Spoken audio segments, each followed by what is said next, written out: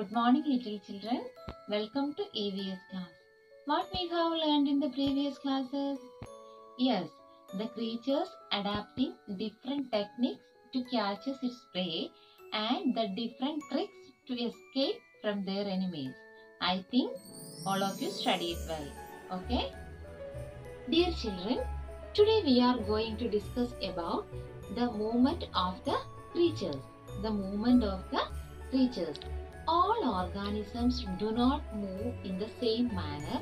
Again, all organisms do not move in the same speed. Some of them are crawling, some of them are walking, and some of them are flying. Some of them are crawling, walking, and flying. Children, take your textbook and turn to page number 13. Here you can see crawling, walking, flying. Okay എല്ലാവരും textbook എടുത്തിട്ട് ഈ വീഡിയോയ്ക്കൊപ്പം നോക്കിയിരിക്കണം. Okay look don't you remember the meeting of creatures നമ്മൾ പഠിച്ചു പാഠം തുടങ്ങിയപ്പോൾ animals എല്ലാം എങ്ങോട്ട് പോവുമായിരുന്നു ഒരു മീറ്റിംഗിന് പങ്കെടുക്കാൻ വേണ്ടിയിട്ട് പോവുമായിരുന്നു അല്ലേ?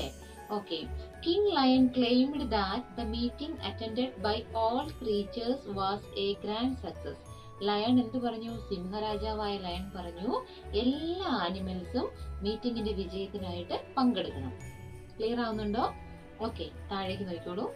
Some of them them had to travel for days to reach the venue of the meeting നിങ്ങൾക്കറിയാം എല്ലാ ആനിമൽസിന്റെയും മൂവ്മെന്റ് എന്ന് പറയുന്നത് ഡിഫറെന്റ് ആണ്. Some of them are crawling some of them are walking and some of them are flying അപ്പൊ ഇവർക്ക് എല്ലാവർക്കും ഒരേ സമയത്ത് അവിടെ എത്തിച്ചേരാൻ പറ്റില്ല. ചിലർക്ക് ട്രാ ഈ ആനിമൽസിന് ട്രാവലിംഗ് ഒരു ബുദ്ധിമുട്ടായി വന്നു.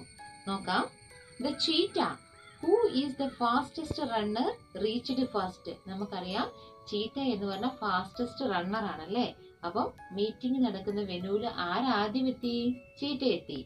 Okay the snail sat on the back of the vulture who flew to the spot snail നടന്നു പോവാണ്. അല്ലെങ്കിൽ സ്നെയിൽ എന്താ ചെയ്യുന്നത്? ക്രൗളിംഗ് ആണ് ഇഴഞ്ഞിഴഞ്ഞാണ് പോകുന്നത് അല്ലേ? ക്രൗളിംഗ് ചെയ്ത് എപ്പോ എത്തും? ഒരുപാട് ദിവസങ്ങൾക്ക് ശേഷമേ മീറ്റിംഗ് വെന്യൂവിൽ എത്താൻ പറ്റൂ. അപ്പൊ സ്നെയിൽ എന്ത് ചെയ്തു? Snail sat on the back of the vulture ഒരു വൾച്ചർ കഴുകന്റെ പുറത്ത് കയറിയിരുന്നു. അപ്പൊ കഴുകൻ ഇങ്ങനെ പറന്നു കഴുകൻ പറന്ന് പെട്ടെന്ന് മെനുവിലെത്തി ഒപ്പം ആരും എത്തി? സ്നെയിലും എത്തിച്ചേർന്നു. The snail was proud of reaching early snail crawl ചെയ്ത് വരുമായിരുന്നെങ്കിൽ ദിവസങ്ങളോ മാസങ്ങളോ വേണ്ടി വന്നതിന് ഒരിക്കലും വെനുവിലെത്താൻ അല്ലേ? പക്ഷേ ഒരു വൾച്ചറിന്റെ പുറത്ത് കയറി ഇരുന്നത് കൊണ്ട് സ്നെയിൽ എന്ത് ചെയ്തു? വെരി വളരെ നേരത്തെ മീറ്റിംഗ് വെനുവിൽ എത്തിച്ചേർന്നു. നിങ്ങൾ ഈ പാഠഭാഗം ഒന്ന് വായിക്കണം കേട്ടോ.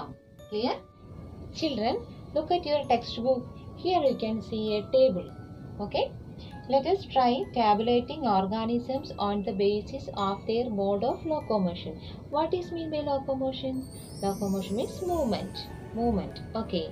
അപ്പോൾ ക്രീച്ചേഴ്സിന്റെ മൂവ്മെന്റ്സിന്റെ അടിസ്ഥാനത്തിൽ നമ്മൾ അവരെ നമ്മൾ അവരെ കാറ്റഗറൈസ് ചെയ്തിരിക്കുകയാണ് crawling walking flying okay the first column those that came crawling crawling means what crawling means ഇഴയുക ഇഴഞ്ഞു സഞ്ചരിക്കുന്ന ജീവികൾ ഏതൊക്കെയാണെന്നാണ് നമ്മൾ കാണാൻ പോകുന്നത്. The first one creatures those are coming crawling ഏതൊക്കെയാ?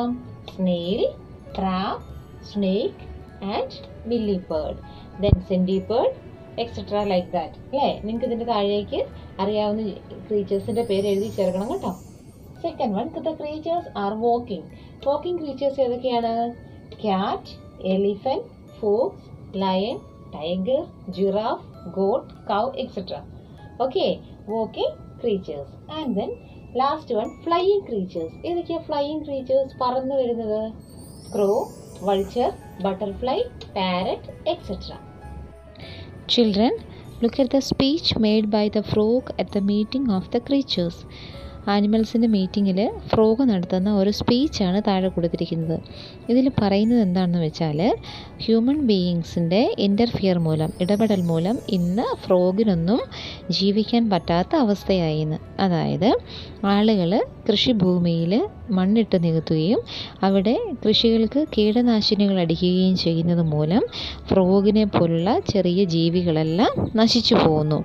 ഈ ഫ്രോഗ് ഒരു കണക്കിന് നമുക്ക് വളരെ ഉപകാരിയായിരുന്നു. എങ്ങനെയാണ്? നമ്മുടെ വിളകളെ നശിപ്പിക്കുന്ന കീടങ്ങളെ തിന്നൊടുക്കുന്നത് ഫ്രോഗാണ്. അങ്ങനെ ഫ്രോഗ് കർഷകനെ സഹായിക്കുകയാണ് ചെയ്യുന്നത്. Okay, children, by the interference of human being, some organisms are disappearing from the earth. Example, panda, dodo birds, etc. The earth is the home of all living things, but human beings are destroying it. ഭൂമി എന്ന് പറയുന്നത് എല്ലാ ജീവജാലങ്ങളുടെയും ജീവിക്കാനുള്ള വാസകേന്ദ്രമാണ്. പക്ഷെ മനുഷ്യൻ ഇന്ന് എന്ത് ചെയ്യുന്നു? അതിനെ നശിപ്പിച്ചുകൊണ്ടിരിക്കുകയാണ്.